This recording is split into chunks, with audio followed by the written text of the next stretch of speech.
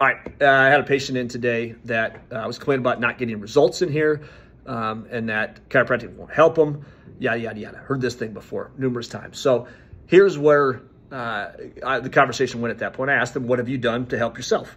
And they kind of looked at me like I was an idiot and um, were thoroughly perplexed from it. So again, have you changed some of the dietary stuff we talked about to, to lower your inflammation on there? Nope, haven't done that. Um, have you uh, been getting up at work and moving around a little bit more? Nope, haven't done that. Uh, have you been doing your exercise at home? I asked for five minutes a day. That's all. Even three minutes a day is all I'm looking for. Uh, I did it for two days, and that was it. At that point, we're two weeks into it on there. Um, have you been uh, showing up for your appointments? Well, like most of the time, not all the time, maybe 75% of the time. Well, there you go. So here's the thing the reasons you don't get a result are very simple. Is one, you lack discipline. You lack discipline to do the little things consistently. You can do it for a day, you can do it for two days, but you cannot consistently do it.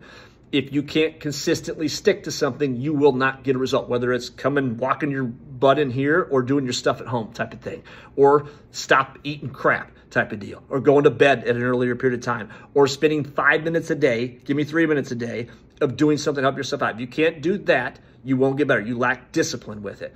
Number two, you're addicted to how you feel right now. That sounds stupid, but you're addicted to the discomfort and the the uh, validation for you not doing something else in your life to the point which you don't actually want to get better. Period.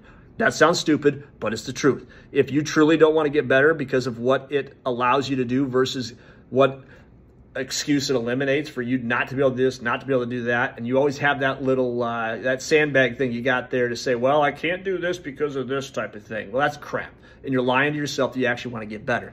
And lastly, it goes along with that as well too, is you are so full of excuses that you will never get better. And and by that I simply mean is that you got an excuse for everything. You don't have time in the day. It's too hot out. It's too cold out. It's too rainy out. You can't go for a walk. You can't do that type of thing. You don't have the equipment. Uh, you don't know how to remember to, to get your butt up out of your chair every two or three, four hours, even at, at work, to try to help yourself out. If you can't do those things, you will not get better. Stop with the excuses. Stop lying to yourself. You don't actually want to get better. You didn't do your part. Don't blame the provider. Period. Plain and simple. End of story. Good night.